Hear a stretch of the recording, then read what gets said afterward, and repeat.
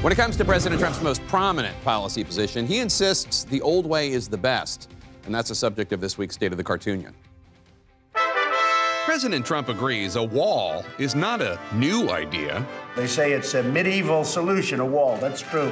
It's medieval because it worked then, and it works even better now. There are other medieval ideas perhaps the president might want to try out.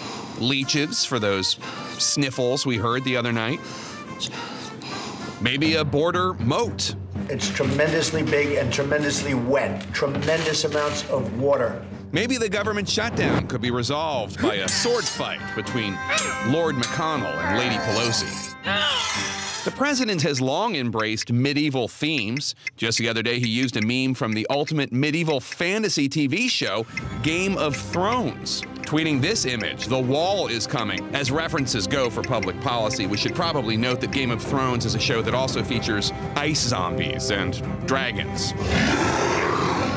Also, spoiler alert, the show's famous Great Wall protecting Westeros from the hordes of ice zombies fell at the end of last season.